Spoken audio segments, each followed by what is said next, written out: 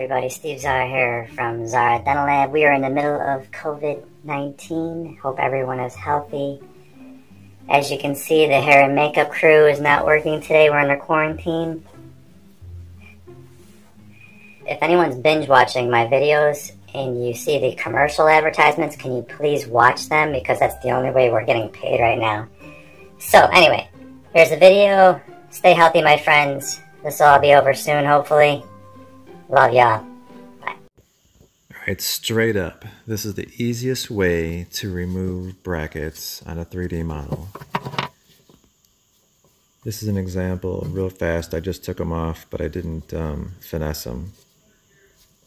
If you guys have all seen my past videos, you know that I hate grinding with a stone wheel. But when it comes to removing brackets, this is the answer. Fast, convenient. Check it out.